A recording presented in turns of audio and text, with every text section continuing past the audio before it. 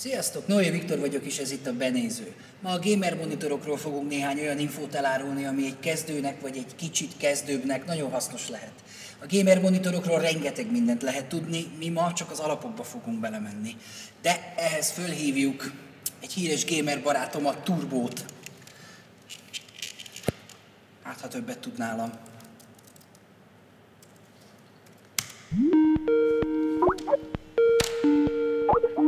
Halló? Ja, szia! Szia! Figyelj, hadd kérdezek valamit, mielőtt belemegyünk a lényegbe. Csak néhány dolog. Áruld el nekünk, hogy te mióta játszol. 2006 óta körülbelül. Az igen. És miket csinálsz a csatornádon? Mi a fő profilod? Hát igazából mindenféle játékkal játszom, horror, FPS, akkor stratégia, sport, minden, amivel csak a nézőim szeretnék, és én szeretnék. Úgyhogy igazából minden nevű vagyok. Akkor ebben benne van a Super Mario és az épicipónim is? Na azért ennyire a retro faktorban nem menjünk bele. Akkor mikkel szeretsz te játszani? Csak és kizárólag az FPS-re. Versenyzős, lövöldözős, imádom. Van kedvenced ezek közül? Persze, a counter és a Call of Duty. De az is FPS. Persze, hogy a világban ne. Akkor gyakorlatilag mondhatni, hogy te egy FPS szakértő vagy. Fogalmazhatunk így is, igen. Akkor ezt megdumáljuk rendesen. Ja.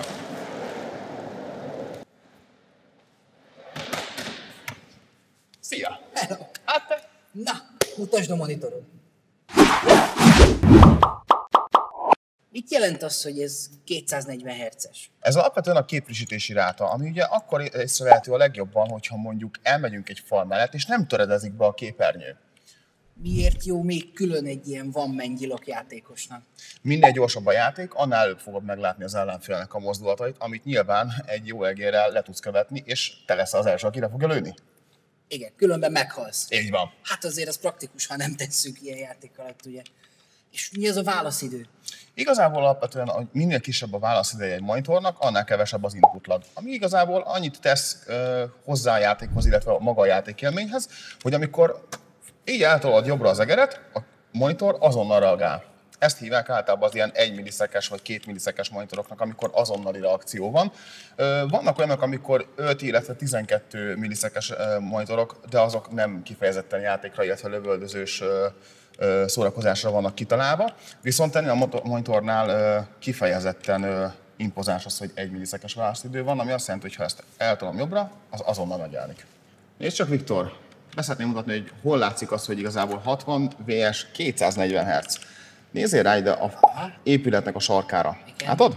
És amikor elkezdem az egeret balra, illetve jobbra, akkor látod, Aha, hogy aha. szétesik a kép. Igen, hogy 60 konkrét- Hz az, ahol kilógnak a téglák a falból hamozogsz. igen, igen, mivel ugye nem, gyorsít, nem, nem olyan gyorsan frissít a monitor, ahogy kéne.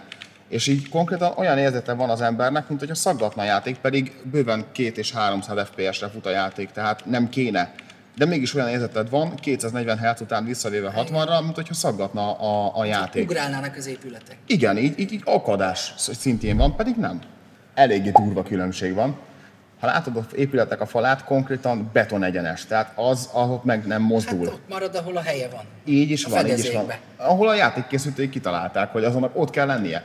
Akármerre futok, egyszerűen nincsen az az érzésem, hogy szaggatna a játék, mivel konkrétan ugyanolyan géppel vagyunk most jelen pillanatban, mint az előbb voltunk, de mégis teljesen más helyzete van a játéknak. Ha már több ezer órát beleöltünk egy játékba, és leülünk egy, egy 60 Hz-es monitor elől, elől egy 144 vagy 240 Hz monitor elé, akkor rögtön előtör belülünk az az érzés, hogy ez egy új játék. Hát köszi szépen. Nincs Minden mit. info nagyon hasznos volt. Örülök, hogy segítettem. De most átmegyek Breach Déneshez. Jó. Szia, szia. Hello, Szép jó üdvözletem. napot. Te mióta játszol? Hát én körülbelül 8 éves korom óta játszom mindenféle játékkal, de professzionálisan körülbelül 2006 óta játszom. A professzionálisan azt jelenti, hogy te versenyszerűen játszottál. Így, így van, így van. Különböző nemzetközi versenyeken vettem részt, magyar versenyek nagy többségén részt vettem, és hát eh, ha nem is mindig sikerült nyerni, de úgy jöttem el, hogy megtettem mindent. Mi volt a legjobb eredményed, amit elértél? Hát volt egy verseny, ahol 1000 dollárt sikerült hazahozni, az volt számomra a legnagyobb, legnagyobb győzelem, de igazából a legnagyobb győzelem mindig az volt, amikor azt tudtam végrehajtani, amit begyakoroltam. És te mivel szeretsz játszani? Csak stratégiai játékok állnak számomra. Az az igazi játék. A stratégiai játék olyan, mint az FPS, csak sokkal távolabbi perspektívából? Nem olyan, mint egy sakjáték, csak valós időben. Beszéljünk egy kicsit az e-sportról, ez olyan, mint egy kézilabda mérkőzés, hogy összegyűlnek emberek egy nagy stadionba, és nézik a kedvenc csapatukat, vagy a kedvenc játékosaikat? Vannak csapatok, igazából szponzorált csapatok külföldön. Az FPS-eknél inkább ez a skandináv országokból indult el, míg a, ez a stratégiai játékok inkább Koreában lettek nagyon népszerűek még úgy 2000 környékén, amikor a Broodwar, a Starcraft megjelent, akkor korábban ez így majdnem egy ilyen nemzeti sport szintje lett, tehát emberek, 20-30 ezer ember kiment egy-egy mérkőzésre, voltak igazi nagy sztárok. Lehetett hotdogot kapni, popcornt, és, és mellett nézte meg... az embereket, ahogy játszanak. Po- pontosan Amúgy így. Ott egyébként egymást is kell figyelni, vagy egymást is figyelitek, mint a többi játékost, vagy kizárólag a monitor Csak saját. is? Csak a monitor, és egyébként tényleg nagyon-nagyon fontos. Én nagyon sokáig nagyon rosszul használtam a monitorokat, rosszul ültem a székben, és egy tanácsot tudok adni, hogyha az ember tud egy ilyen, ilyen monitort szerezni, meg egy jó széket, az mindennél többet ér, ment. Nagyon fontos. És egy stratégiai játékhoz mit tud hozzáadni ez a monitor?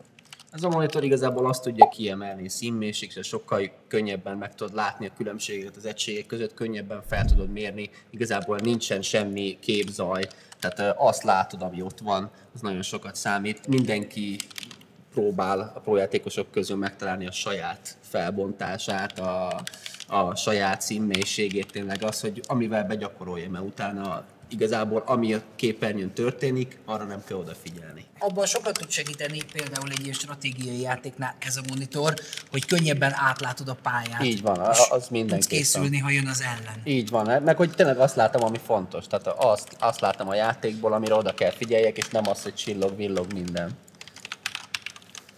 És ezt tudod kicsinyíteni, nagyítani, tehát azért így van. Egyébként a, a jó monitornak a tényleg az a fontos, amikor amit az ember megszokott, amivel tényleg játszott, és kinek mi a preferenciájuk.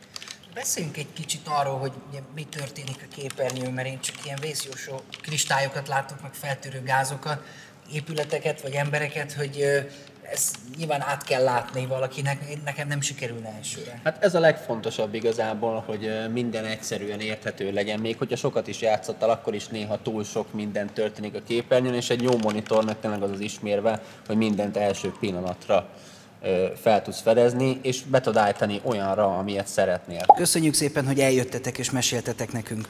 Én például sokkal többet tudok már a gamer monitorokról, mint az adás előtt, vagy mint valaha. De ezzel nincs vége a monitorok kitárgyalásának, ugyanis a következő adásban a professzionális felhasználásra szánt monitorokkal fogunk foglalkozni. Tartsatok velünk akkor is!